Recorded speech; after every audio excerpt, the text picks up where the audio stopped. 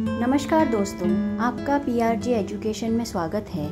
आज हम मेरा देश भारत पर 10 लाइन का निबंध लिखेंगे। तो चलो शुरू करते हैं।